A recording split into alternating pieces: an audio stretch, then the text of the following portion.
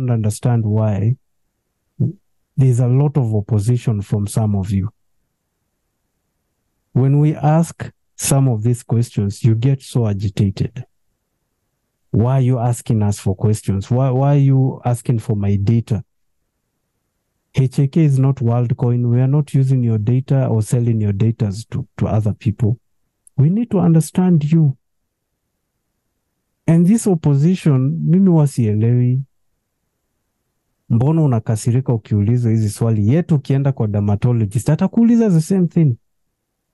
Ukienda kwa daktari wa kawaida they ask you questions. You don't okay, kwani daktari atakaa tu akuangalia and then I imagine you have an issue. You have to tell the doctor exactly how you're feeling. They have to ask you questions. Hata ukienda with hata ukiwa na homa, so wanakuulizaga homa ilianza lini. They need to know the severity of the issue. So the same thing with HAK. If we don't ask you these questions, then how are we going to understand your sweat?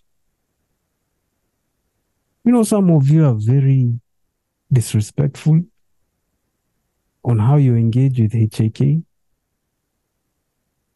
I want an antiperspirant. Okay, for what? For which area? When did this sweat start? Why are you asking for my data? Just give me what I want.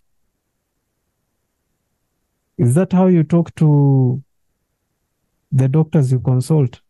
I'm pretty sure that that's not how you address those doctors. But when we try to do the same thing to have a better understanding of your sweat, you get angry. Look, at the end of the day, we have to follow our protocols.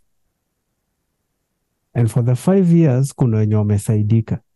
Na saa hii, those questions, we have them in PDF form, which we just send it to you. You go through it, you fill in, and they are very simple. Very simple. Na ziko na checkbox.